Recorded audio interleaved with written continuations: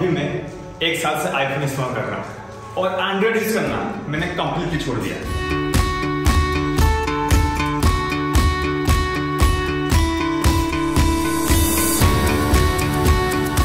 आप ये भी बोल सकते हो कि ये तो बहुत महँगा आता है और इसके फीचर सस्ते में एंड्रॉइड मिल जाएँगे।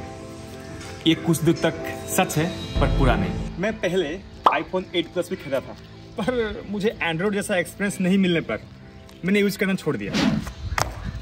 अभी से मैं ड्रोन उड़ाता हूँ।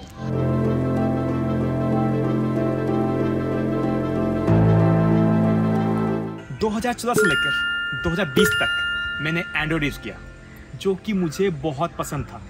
तो आखिर आईफोन क्यों?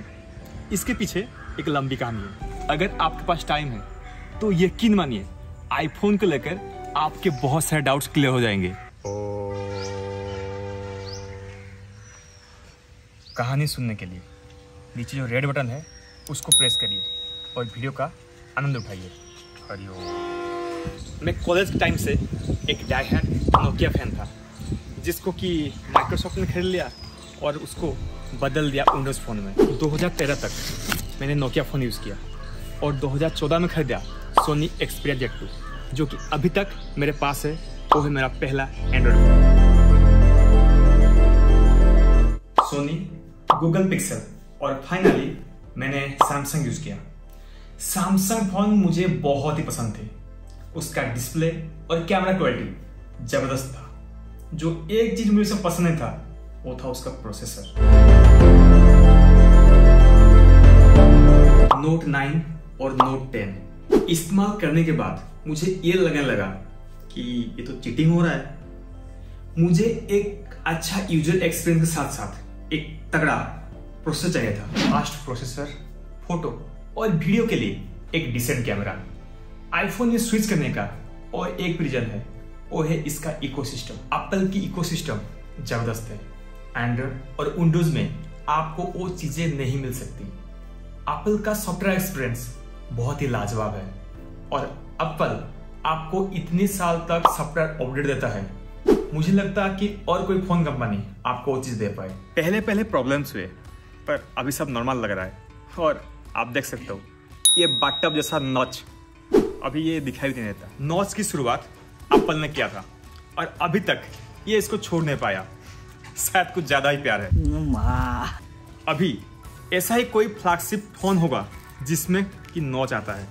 एक्चुअली एप्पल यूज़र को इतनी जल्दी बदला पसंद नहीं। इसीलिए एप्पल इतना जल्दी अपने डिज़ाइन चेंज नहीं करता ताकि पुराने यूज़र्स को ये ना लगे कि नए फ़ोन में क्या ही बवाल फीचर आ गया हो। आईफोन में बहुत ज़्यादा खर्चा होता है पर इसका यूज़र एक्सपीरियंस इसको जस्टिफाई करता है। यूएसए और इंडिया की करेंसी की बात करें तो डॉलर जो सेवेंटी फाइव रुपीज़ है इंडिया में उसको सौ रुपए गिना जाता है। एक्चुअली ये जो प्राइस है ये एप्पल नहीं लेता ये लेता है हमारा इंडियन गवर्नमेंट आईफोन के ऊपर इम्पोर्ट ड्यूटीज़ है बीस से बाईस परसेंट और उसके एसेसरीज के ऊपर है बीस परसेंट। मैं कितना सही हूँ ये तो मुझे पता नहीं, पर 20 से तो ज़्यादा होगा।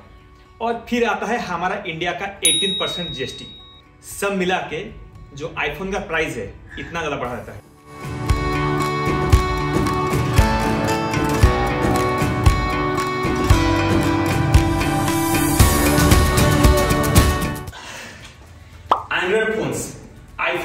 फ़ोटो में टक्कर दे देंगे, लेकिन वीडियो में इसका कोई मुकाबला नहीं। जो मेरे काम के लिए भी सही है, क्योंकि हर जगह मेरे ये भारी भरकम कैमरा मैं लेके नहीं जा सकता।